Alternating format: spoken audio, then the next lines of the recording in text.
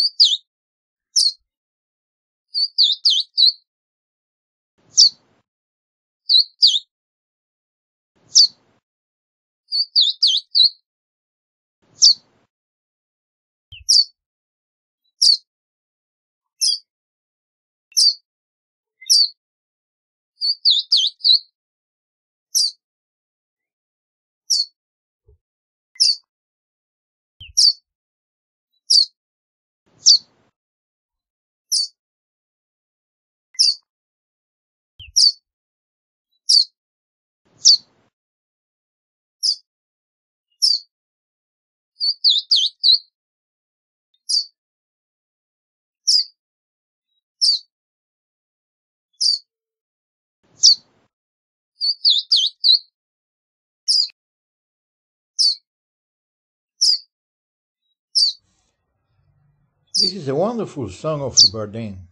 Enjoy it.